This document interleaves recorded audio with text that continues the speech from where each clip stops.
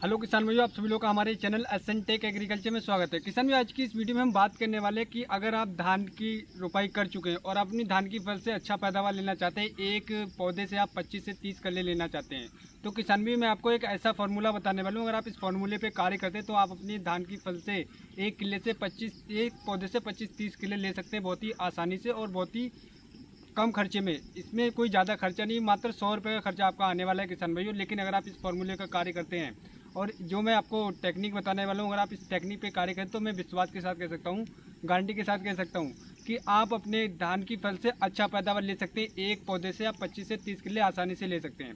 तो जो हमारे किसान भाई हमारे चैनल पर पहली बार आए, सबसे पहले हमारे चैनल को सब्सक्राइब कर लें और हमारे वीडियो को ज़्यादा से ज़्यादा शेयर करें, जिससे हमारी बातें सभी किसान भाई तक तो पहुँच सकें और वो अपनी धान की फ़सल से अच्छा पैदावार ले सकें। किसान भाई, मैं आपको पहले बताना चाहूँगा कि मेरे इस चैनल पर आपको एकदम 100 परसेंट सही जानकारी मिलती है। जो भी मैं बातें यहाँ पे शेयर करता हूँ, वो मेरा खुद का पर्सनल एक्सपीरियंस है, आठ साल का एक्सपीरियंस है, वही एक्सपीरियंस मैं शेयर करता हूँ आप लोगों के साथ।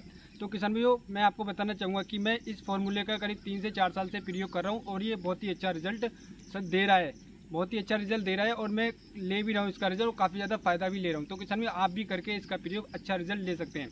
तो आइएगा, हम बात करते हैं कि आपको ऐसा कौन सा कार्य करना है।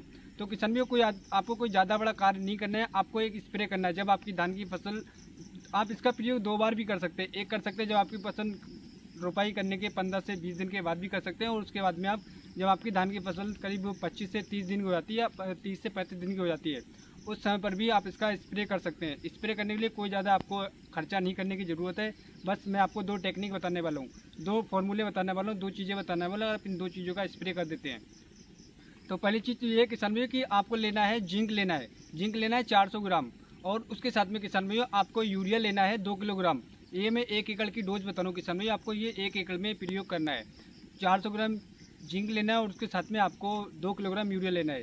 इन दोनों का अच्छी तरीके से घोल बनाने के बाद, करीब 140 लीटर 150 लीटर पानी में घोल तैयार करने के बाद, आप इसका स्प्रे कर दीजिएगा। पहले आप स्प्रे कर सकते हैं कि समय दो बार भी इसका स्प्रे कर सकते हैं।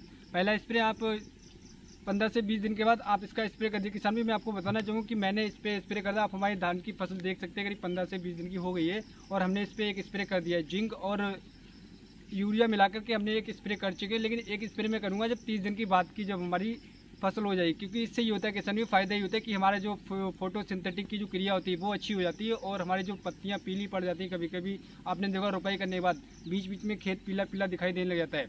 वो समस्या भी दूर हो जाएगी और हमारा खेत एकदम हरा भरा दिखाई देगा और